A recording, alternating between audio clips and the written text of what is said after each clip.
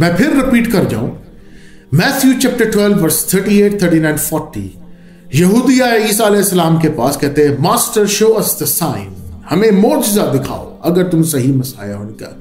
You evil and adulterous generation you always seeking upon the sign तुम हमेशा मोजा मांगते हो। मैं तुम लोगों को कोई मोजा नहीं। आई विल नो नो मोजा will be given unto it no sign shall be given unto it except the sign of prophet Jonah कोई साइन मैं तुम लोगों को मोजा नहीं दूँगा। स्वाय यूनुस के मोजा के मोजा के as Jonah was three days and three nights in the whale's belly जैसे यूनुस तीन दिन और तीन रात मछली के पेट में रहा था so shall the son of man उसी तरह हा कदा सन ऑफ़ मैन ईसा इस्लाम अपने आप को कह रहे हैं that he will remain three days and three nights in to the heart of the earth मैंने जिससे पहले बताया कि जोना की जो बुक अगर आप पढ़ें तो वहाँ मोजा लिखा हुआ है। और जोना यूनस इस्लाम का मोजा था कि जब तीन रात और तीन दिन वो मछली के पेट में रहे, उनको मर जाना चाहिए था। ये उनका मोजा था। अगर वो मर गए तो मोजा क्या? खत्म। इसी तरह ईसा सलाम को भी तीन दिन, तीन रात समहाओ मरना था, जो उनके ऊपर मुसीबतें आनी थी, लेकिन उनको अगर वो मर गए तो मेरिकल खत्म। कृष्ण कहता है, भाई मेरिकल हुआ ना, वो मर के फिर ज़िंदा हो गए मर के तो सबने ज़िंदा होना है। मेरिकल क्या हुआ?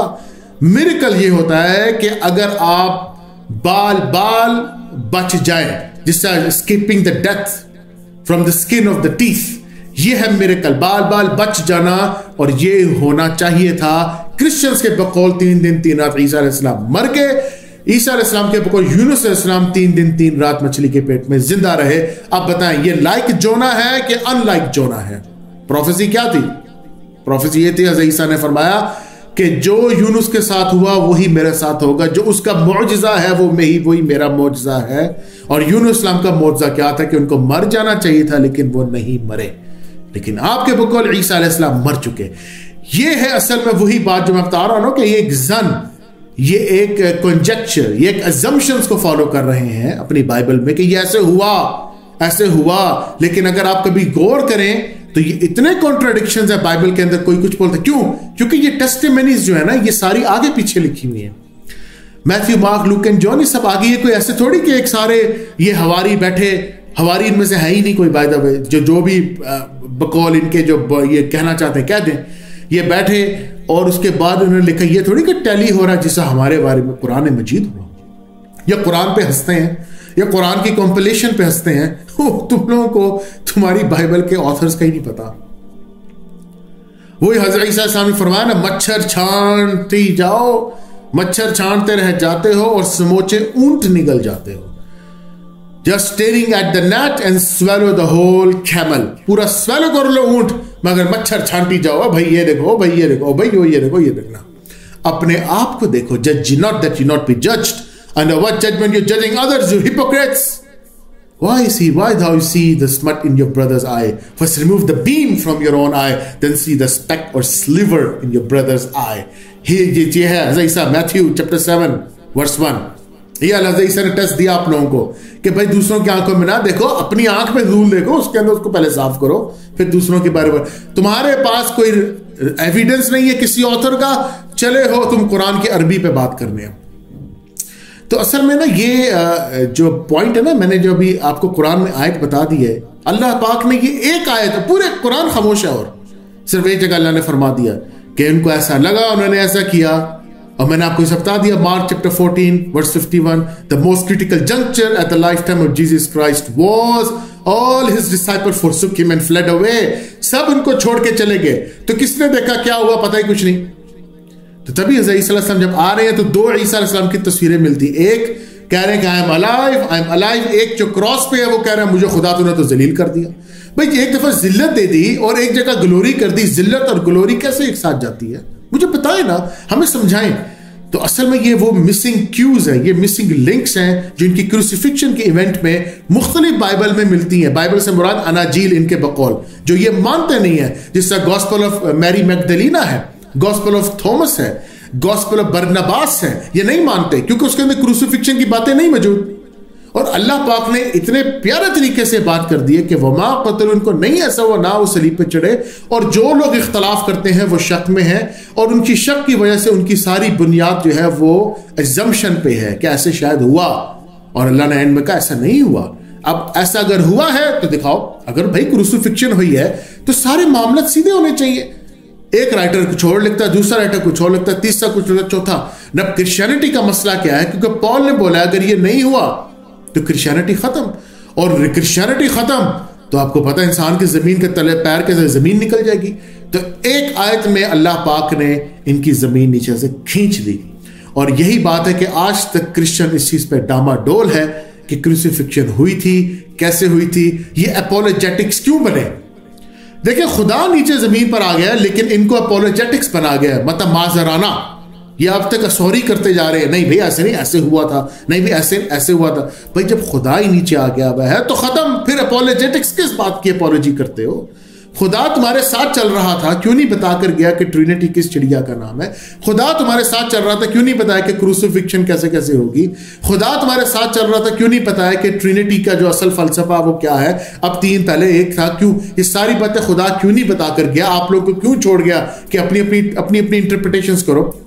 और पॉल कहता है कि God is not the author of confusion और कंफ्यूजन आफ्टर कंफ्यूजन बाइबल में मौजूद है। देखें क्रिश्चियन ये ना समझे कि मैं यहाँ पर आप लोगों के जो है ना दिल को तकलीफ़ दे रहा हूँ, ये बातें ये बातें सच्ची हैं। ये बातें बिल्कुल सच्ची हैं। आपके पादरी आप लोगों को नहीं ये बताते। आप अपने पास्टर से जाके पूछे। बताएँ ये सारी बातें जो मैंने क्वेश्चंस किए हैं। ये जूनूस, इनसे पूछे, यूनुस अलैहिस्सलाम का मोजा क्या था? क्या वो टाइम फैक्टर था? मोजा क्या था? मोजा। कि उनको तीन दफ़ा मर जाना चाहिए था वो तीन दिन, तीन रात पेट में एसिड में मछली के, उनको रेजिंग सी था, समंदर था, कोई मज़ाक नहीं है। उनको मर जाना चाहिए था, लेकिन वो नहीं मरे। तो फिर यूनुसलाम को और ईसा का मोजा कैसे हुआ एक? उन्होंने कहा so shall the son of man हा, कजा अरबी में लिखा हुआ ट्रांसलेशन इसी तरह हु बहु मैं भी करूँगा, मैं भी रहूँगा, और यही मेरा, उनका, मैं कोई मोजा नहीं दूँगा, स्वाय यूनुस के मोजा। यूनुस का मुआवजा क्या था? सिर्फ़ मछली में रहना या मछली में रह के, ज़िंदा रह के बाहर आना? मुआवजा पता नहीं क्या था। मछली में जाना मुआवजा होता है। भाई मुआवजा ये है कि बंदे को आपने गोलियाँ मारी और वो ज़िंदा हो गया और वो ज़िंदा रहा। मरा नहीं।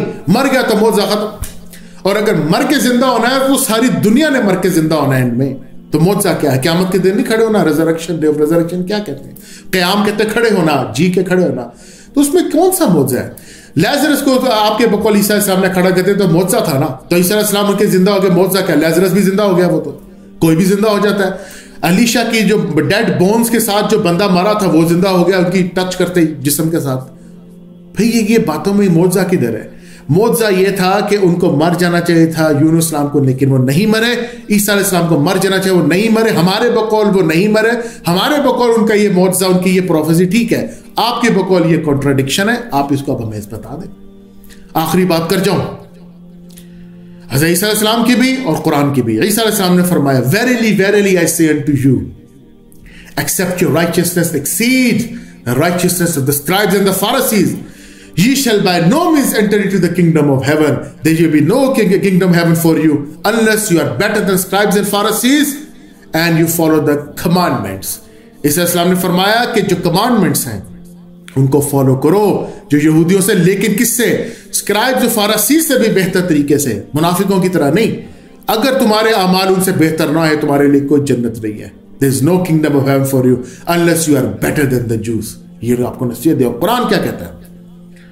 कुरान कहता लक़द कफर लजीना मसीह इब्न मरियम। जिसने भी कहा, ईसा इब्न मरियम, कि वो खुदा है, वो तसलीस का हिस्सा है, उसने कुफर बका।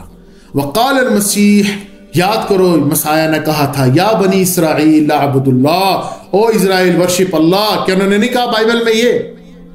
कहानी worship धर्मन thy Lord which art in the Matthew chapter 23 verse 9 and call no man your father on this earth किसी को खुदा ना कहो इस दुनिया में। There is one your father which art in the heaven सिर्फ़ एक ही तुम्हारा रब है जो आसमानों में मार्क चैप्टर ट्वेल्व ट्वेंटी मैंने फरमा कि शमा इसराइल अदना अदना खदो इसराइल सुनो, उस खुदा की इबादत करो जो एक है। मार्क चैप्टर 12 वर्स 29 में। तो उन्होंने फरमाया हजैसा ने, वकाल अल मसीह, जब मसाई ने कहा था, या बनी इसराइल आबुदुल्लाह चिल्लों ने विजर अल्लाह की इबादत करो, रब्बी व रब्बकुम, जो मेरा रब है, तुम्हारा रब है इन नहू में बिल्ला ने फरमाया, इसके बाद किसी ने किसी के साथ भी शरीक किया। ईसा इस्लाम को भी हटा दो अब, कोई भी आया। फ़कद हर्रम जन्ना, उसके लिए जन्नत हराम है। नार, और fire of hell will be the और फिर कोई मददगार नहीं आएगा। सूरत अलमाइदा, चैप्टर 5 वर्स 72 वाखिर दावाना अनिल रब्बिल आलमीन।